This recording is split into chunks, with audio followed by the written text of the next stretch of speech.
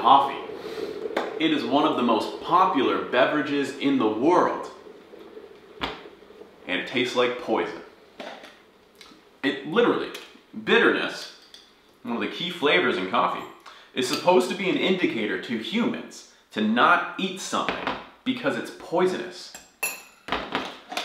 For some reason, everybody seems to be Stockholm syndromed into loving the stuff. I've never been enough of a masochist to convince myself that I need a daily dose of caffeine every morning in the form of this disgusting drink.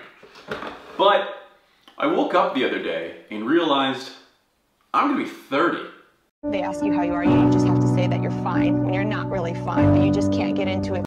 And the existential dread of that has me thinking irrationally. So, in the 30 days between now and Christmas, I'm gonna be trying to like coffee. TTLC. Let's see how quickly I can ruin my millions of years old survival instinct to dislike bitter stuff.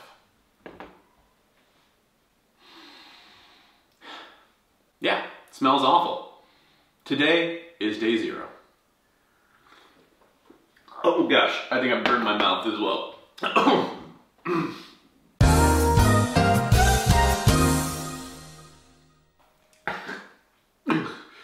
well, I think at the very least I can do better than the instant stuff. I'm not finishing this.